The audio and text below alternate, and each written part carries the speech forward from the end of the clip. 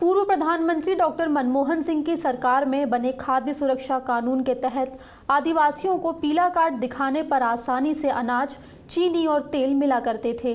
लेकिन मध्य प्रदेश की शिवराज सरकार ने राशन लेने की प्रक्रिया को बेहद जटिल बना दिया है। अंगूठे के निशान के बिना इस योजना का लाभ उठा पाना मध्य प्रदेश के आदिवासियों के लिए बेहद मुश्किल हो गया है। ग्वालियर के आदिवासी इलाकों से जमीनी पड़ताल करती गो न्यूज़ संवाददाता आदिश रावल की खास रिपोर्ट।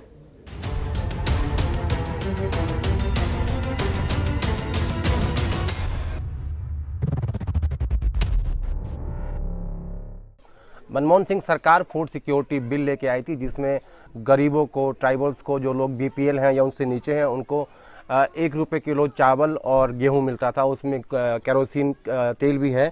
लेकिन अब उस प्रक्रिया को काफ़ी कठिन कर दिया गया है जिसमें मध्य प्रदेश में यहाँ लोगों को जो जो कि ट्राइबल्स हैं उनको काफ़ी दिक्कत आ रही है। अब आपको कैसे मिलता है अनाज और चावल? हमें अनाज और चावल ऐसे मिलते हैं जब जब तक पूरे बच्चों का आधार कार्ड नहीं होगा और जब तक फिंगर नहीं लगेंगे जब तक कोई राशन नहीं दिया जाता है। अच्छा पहले कैसे मिलता था? पहले बिना आधार कार्ड का मिल जाता था। अच्छा। कांग्रेस सरकार में। अच्छा अब क्या होता है? अब तो अब जो आधार कार्ड चाहिए आधार कार्ड चाहिए जिसका फिंगर लगेगा उसी को अनाज मिलेगा नहीं अन्यथा किसी को घर में परिवार में किसी को नहीं मिलेगा। अच्छा फिंगर लगने का मतलब है कि आज अब सरकार ने उसको थंबनेल से अटैच कर दिया यानी आधार और जिसका थंब इंप्रेशन मैच करेगा उसी को ये राशन मिलेगा। और क्या दिक्कत आ रही है? और कांग्रेस सरकार पहले हमारे लिए शक्कर भी थी उसमें। हम्म, कितनी शक्कर थी? शक्कर हमको तीन किलो शक्कर मिलती थी। तो अब वो भी शक्कर भी बंद कर दी और पाँच पाँच लीटर वो था मिट्टी का तेल। उसमें से एक लीटर वो भी घटा दिया। और तीस रुपए लीटर वो कर दी। लम। अब बताइए अब उसमें क्या मिलेगा हमको? क्या मिल रहा है? क्या सरकार दे रही है हमें? कोई फ़ायदा नहीं। है। तो जब कई बार अंगूठा जब मैच नहीं होता है लगाते हो तो फिर क्या कहते हैं वो कि वो जो कहते हैं तो तुम आपको अनाज नहीं मिलेगा राशन नहीं मिलेगा। अच्छा। हाँ। तो फिर कैसे काम चलता है उस महीने? क्या करें भग जाते हैं फिर।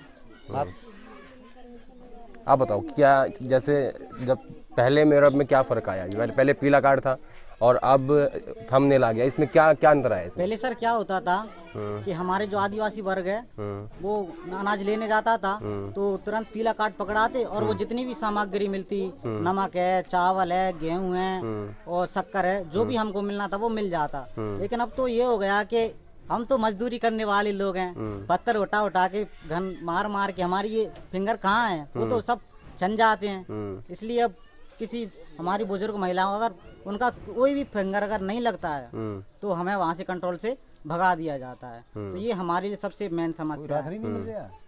और फ़ूड सिक्योरिटी एक्ट का नाम बदलकर दीनदयाल उपाध्याय के नाम से रख दिया गया। लेकिन समस्या ये है कि जो आदिवासी लोग हैं, जो जंगलों में काम करते हैं, इनके अंगूठे फट जाते हैं और वो थंबनेल से मैच नहीं हो पाता, जो एक बड़ी वजह इन लोगों को लग रही है कि जिस कारण इनको अनाज और नमक और तेल और चावल नहीं मिल पाता।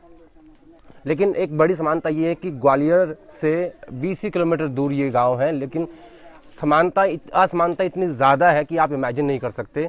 ये हमारी जो पिछली सरकारें हैं, जो स्टेट की सरकार है या केंद्र की सरकार है, उन सब का एक मिला जुला एक मिश्रण है कि किस तरीके से लोग ग्वालियर के बिल्कुल सटे हुए गाँव में इस तरीके से आदिवासी रहते हैं।